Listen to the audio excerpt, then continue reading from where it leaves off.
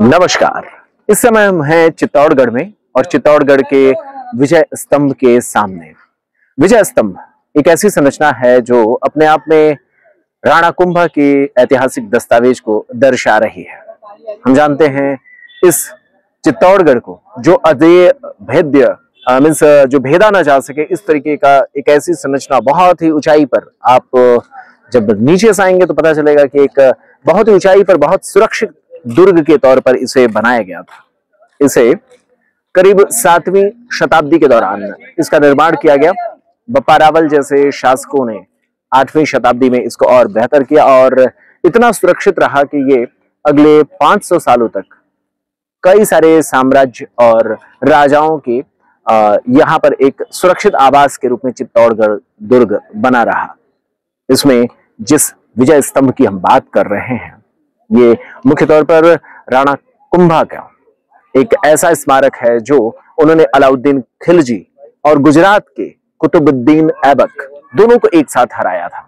कुतुबुद्दीन ऐबक वो नहीं जो दिल्ली के शासक रहे, उनकी नहीं, ये गुजरात के राजा थे। इसके अलावा जो खिलजी थे, उनको उन्होंने हराया और उसी की विजय के उपलक्ष्य में इसका निर्माण किया गया था। ये डमरू के आकार का नौ मंजिला एक स्मारक है, जिसमें 157 सीढ़ियाँ हैं। इस पर अलग अलग तरीके से हिंदू देवी देवताओं को उकारा गया इस तरीके से बनाया गया है कि इसमें ब्रह्मा है, विष्णु हैं शंकर, पार्वती हैं। अलग अलग देवी देवताओं के चित्रों को यहाँ पर उकेरने की कोशिश की गई है। इतना ही नहीं, ऐसा माना जाता है कि मूर्तिकाल का सबसे स्वर्णिम युग रहा है। आप यहाँ पर जनजीवन से जुड़ी हुई तमाम मूर्तियों को भी देखने का अवसर पाते हैं। यह नौ मंजिला है। इसमें देखने वाली बात यह है कि जब राणा कुंभा, उन्हें समझ में आया कि हम, मैंने इतनी बड़ी संरचना तो बना दी है, लेकिन इसमें इसकी सुरक्षा का ध्यान देना बहुत ज़रूरी है, क्योंकि मुगल लगातार इस दुर्ग पर अटैक कर रहे थे और मेवाड़ कभी भी हार मानने को तैयार नहीं था। तो मेवाड़, चूँकि हार नहीं मानता, मारवाड़ हार मान जाता था जयपुर और उसके आसपास की जो रियासतें रही हैं, वो हमेशा से मुगलों के साथ संबंध बना करके रहते थे।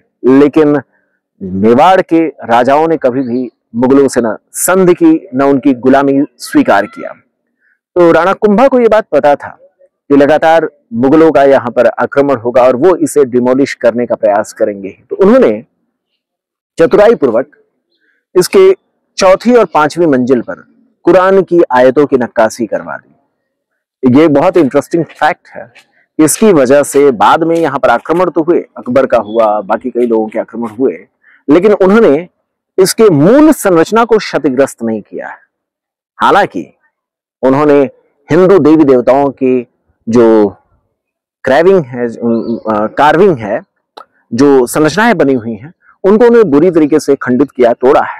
लेकिन पूरी जो स्ट्रक्चर है, उसको उन्होंने छेड़ा नहीं क्योंकि इसकी चौथी और पांचवी मंजिल पर अल्लाह या कुरान से संबंधित आयते हैं।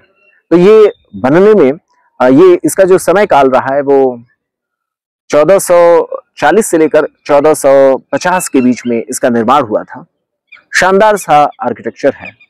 यहाँ तक कि जो राजस्थान पुलिस है, वो भी इसे अपने गर्व के तौर पर, अपने बैज, बैजिंग में इसका इस्तेमाल करती हैं।